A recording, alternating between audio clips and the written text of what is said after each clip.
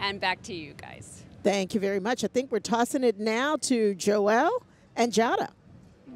Listen, here's the thing about Italians. You know we're going to make friends anywhere we go. And now my good friend Giada from Venice, by Yes. the way. You're welcome there anytime. Oh, they, I, I- we went over the summer. Fantastic. Oh. But I digress, like I like I normally do. What do you think about how we represent uh, Italy here in New York?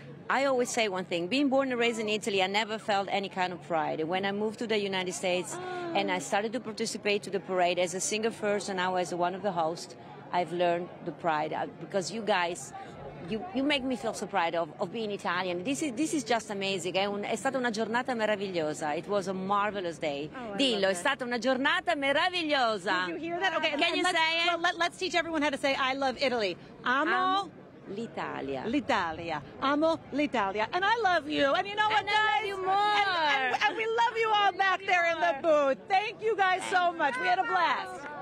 Thank you. Thank you. I mean, what a fun day. Yeah, it was a great day. It's nice to be talking about good news all day, right? Now, to all all of our people along the route, from Lauren and Gianna and, and Juliet, and it's it's you know it's it's one of those where you have Joelle out there making fast friends with everybody. That was the feeling of today. It's all about love. By the way, also thanks to our viewers being simulcast there, WFMZ in Lehigh Valley, and right here on Channel Seven, ABC Seven, New York. It's been a day celebrating family and uh, generations and love and philanthropy, all the good things, and education and passing it forward, all of those things.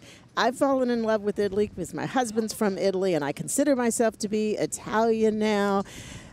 Beautiful country, lots of traditions, and we saw those many of those traditions celebrated here today. traditions, the themes of family and love and food and culture. What a celebration it was today. Happy Columbus Day to all of you. Always an honor to be alongside. Thank you, Mike. Sandra.